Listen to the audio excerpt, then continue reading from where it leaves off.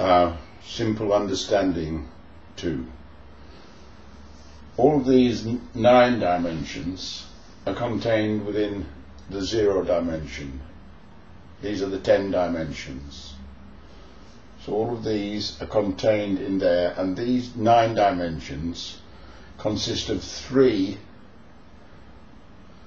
dimensions nesting inside of each other as I've shown here as triangles.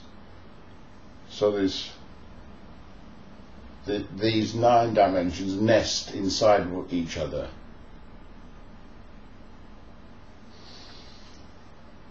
This is a coaxial signal for the dark energy, which is prana, that flows through everything, flows through our minds and creates this world. So we can take this as a background what I'm explaining, the flow of the dark energy, the prana, the Tai Chi. The Tai Chi contains both the positive and the negative. This is the imaginary, the point in mind, the superposition. The first triangle is the level of quantum mechanics. The video signal, the attention, our vision, seeing things, the image we're seeing. This is the first level of our minds. And these four are the transcendental numbers. There's I, pi, phi, and e. Now there's phi, which is the golden mean, 1.618, a pentacle in polygon harmonics. The five is an eye. See the eyebrow and the eye. The eye sees movement. Pi is movement.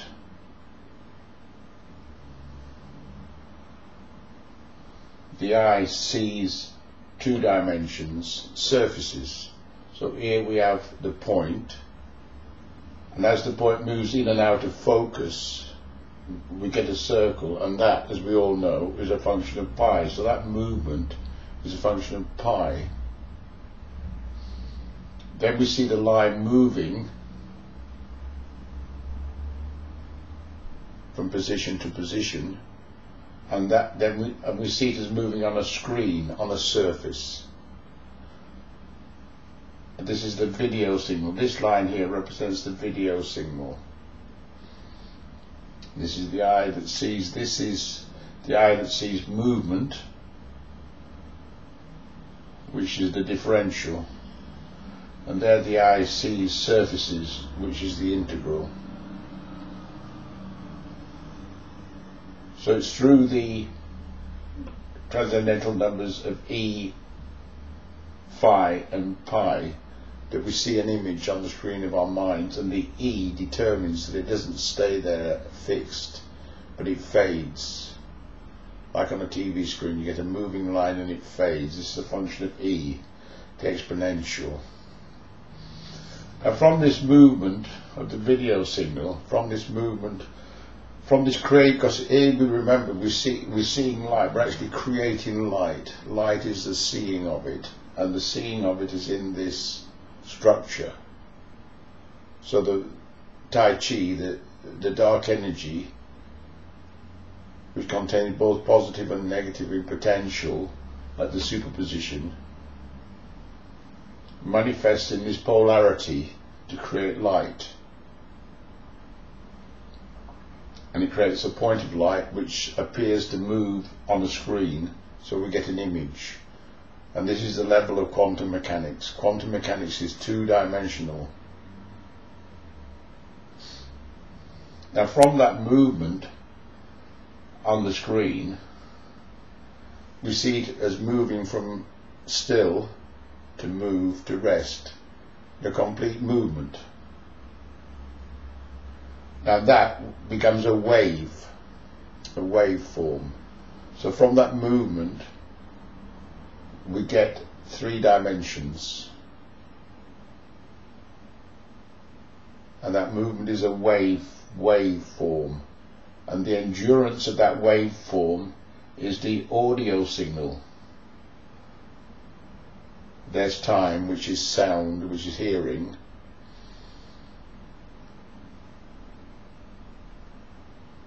And there we have energy. So we've got space, time, energy, relative, the level of relativity. So we've got the audio signal. Now we actually sense spaces by the audio signal, by the audio reflection, the, the, the, the, the sound reflection. And then we identify that space with the smell. And then we identify the sound. And then the sounds are, in terms of the energy, is either resonant or is dissonant. It's either harmonious or it's dissonant. From this relativity, from this waveform,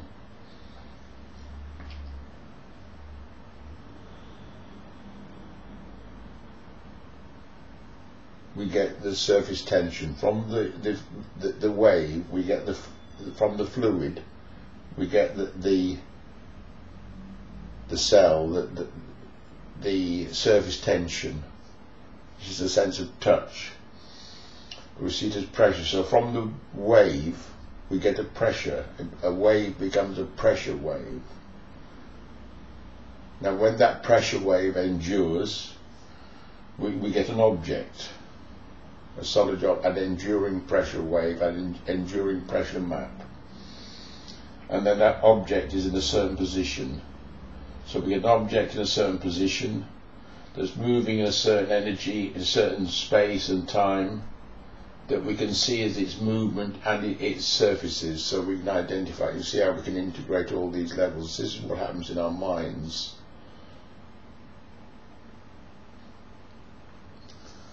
So there we have the differential for the relative acceleration, and there we have the second differentiation differential for the space, and the second integral, and then we have the third differential, the third integral for the object.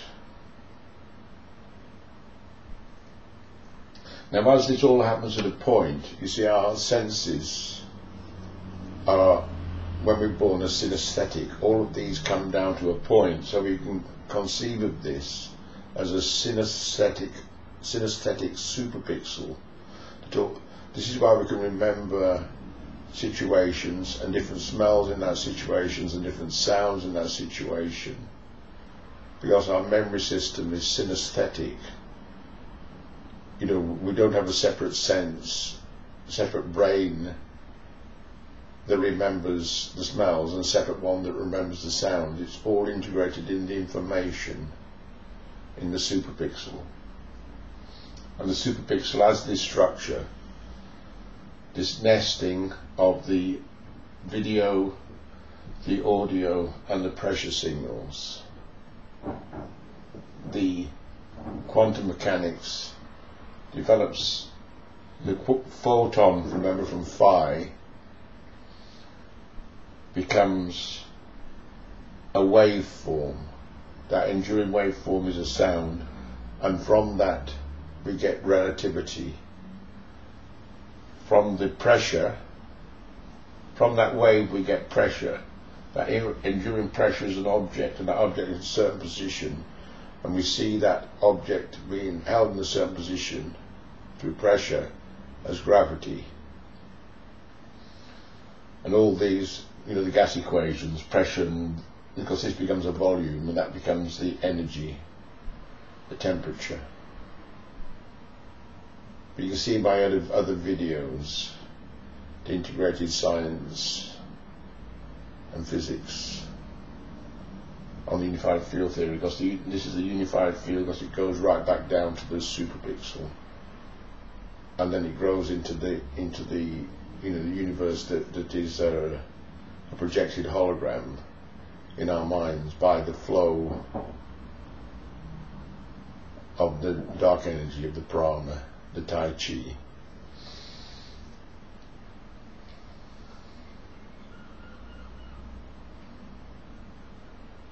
Right, so you get that the, the three triangles nest inside one another, the video inside the audio, inside the pressure.